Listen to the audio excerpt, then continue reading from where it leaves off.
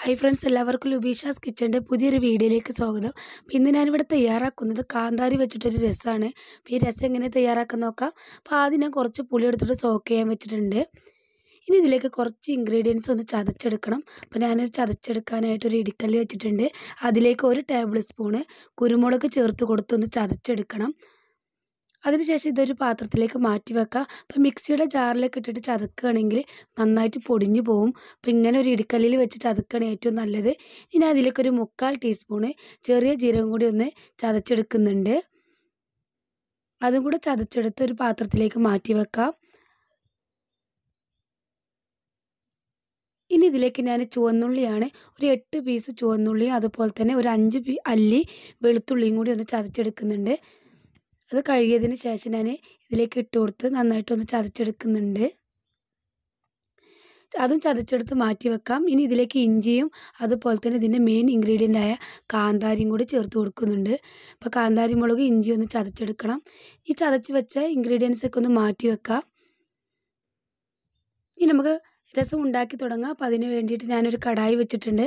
കടായി ചൂടായതിന് ശേഷം ഇതിലേക്ക് ഞാനൊരു ഒന്നര ടേബിൾ സ്പൂണ് വെളിച്ചെണ്ണ ചേർത്ത് കൊടുക്കുന്നുണ്ട്. എണ്ണ ഒന്ന് ചൂടായി വന്നതിന് ശേഷം ഇതിലേക്ക് ഞാൻ കടുകാണ് ചേർത്ത് കൊടുക്കുന്നത്. ഒരു സ്പൂൺ എടുത്തിട്ടുണ്ട്. അതൊന്ന് പൊട്ടി വരുന്ന സമയത്ത് ഇതിലേക്ക് ഞാൻ ഉണക്കമുളകും അതുപോലെ തന്നെ കറിവേപ്പില ഇട്ട് കൊടുക്കുന്നുണ്ട്. ഇനി ഇതിലേക്ക് ചതച്ച് വെച്ച ഇൻഗ്രീഡിയൻസ് ഒക്കെ ഒന്ന് ഇട്ട് കൊടുക്കണം. അപ്പോൾ ആദ്യം ഞാൻ ഇഞ്ചിയും വെളുത്തുള്ളിയും അതുപോലെ തന്നെ ചുവന്നുള്ളിയും കാന്താരി മുളകും കൂടി ചതച്ചത് ഇതിലേക്ക് ചേർത്ത് കൊടുക്കുന്നുണ്ട്. ഇനി ഇതൊന്ന് വഴറ്റിയെടുക്കണം. അപ്പം മീഡിയം ഫ്ലെയിമിൽ വെച്ചിട്ട് ഇതൊന്ന് വഴറ്റിയെടുക്കാം. അപ്പോൾ ഇതിന്റെ കളറെല്ലാം ഒന്ന് മാറി വരും. അതുവരെ ഒന്ന് മീഡിയം ഫ്ലെയിമിലേക്ക് മാറ്റിയതിന് ശേഷം ഇതൊന്ന് വഴറ്റിയെടുക്കണം.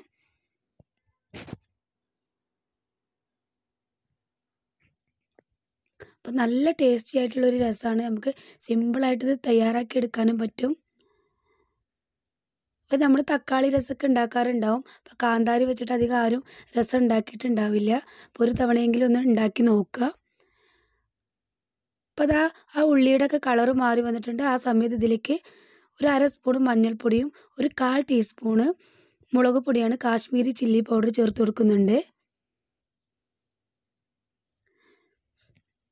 അതിനുശേഷം ഞാൻ ഇതിലേക്ക് ചേർത്ത് കൊടുക്കുന്നത് കുറച്ച് മല്ലിപ്പൊടിയാണ്. ഇനി ഇതിലേക്ക് ഞാൻ കായപ്പൊടി ചേർത്ത് കൊടുക്കുന്നുണ്ട്. കായപ്പൊടിയും കൂടി ചേർത്ത് കൊടുത്തതിന് ശേഷം ഇതിലേക്ക് ഞാൻ ചതച്ച് വെച്ചിട്ടുള്ള കുരുമുളകും ചെറിയ ജീരകവും കൂടി ചേർത്ത് കൊടുക്കാം.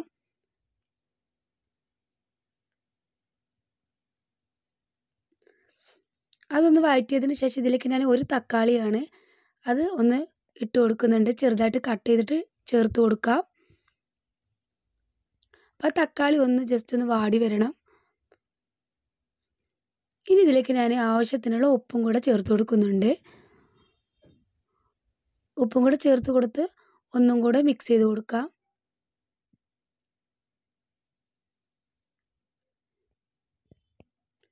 ഈ സമയത്ത് ഞാൻ നേരത്തെ സോക്ക് ചെയ്യാൻ വെച്ച പുളിയുടെ വെള്ളം ഇതിലേക്ക് ഒഴിച്ചു കൊടുക്കാം.